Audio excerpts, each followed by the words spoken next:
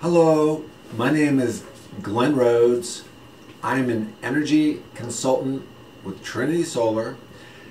And two years ago, I was in the National Solar Tour where I showcased my PV solar rooftop home and answered questions.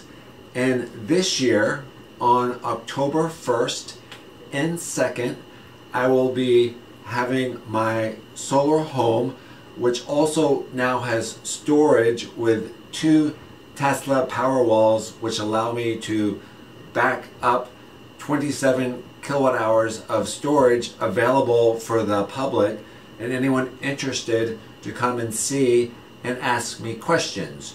You see, I work for Trinity Solar, but I'm also a solar stakeholder with Rhode Island's Energy Office.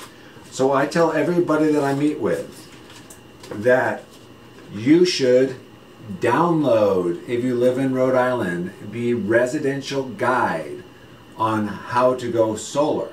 If you just simply Google Energy Office Rhode Island, the OER, Office of Energy, it will take you right to, you can click on the solar page and you'll see basically the things I recommend. They're highlighted here. So first, I would advise you to check out net metering. You see, the key is to figure out which way you want to be interconnected at the end. Net metering is much, much better than the old feed-in tariff called REG.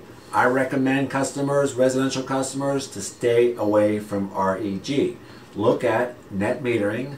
Look at basically the REF. What's that? Well, that's a Rhode Island grant funded through Commerce Rhode Island that can get you up to $5,000 back today with net metering. This year, if you qualify, if you qualify, you need a Sun Score TSRF over 80%. I can help you understand if you qualify for this state grant, if you own your system, you will get the government incentives. And my job, what makes me different from everybody else, is I try to maximize your government incentives. How do I do that? Well, first of all, I got this grant from my family back in 2019, and I've gotten for 200, um, 125 Rhode Islanders since then, hopefully soon 200. But also, I can used to be a CPA, so I can tell you about how to capture and you know how the tax credit, which just went up to 30% as part of the Inflation Reduction Act for another 10 years, how to capture that 30% tax credit for your PV solar system, for your energy storage if you decide to add qualified backup like the Tesla Powerwalls that I did or the Generac PRW cell, which we also can help you with at Trinity. Lastly, there's some exciting stuff going on in the future. Um, the state actually wants to electrify everything to reduce our carbon footprint across this state. So what are they doing? Well, they're rolling out other incentives.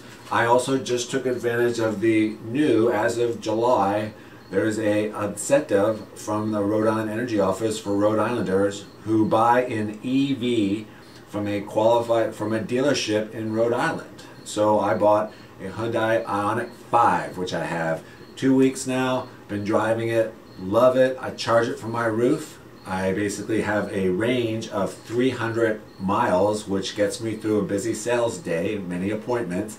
And what I love most about it, my key insight, is it's smart technology. So my eyes are on the road, not on my phone and it will reduce, keep me safer and also keep others safer.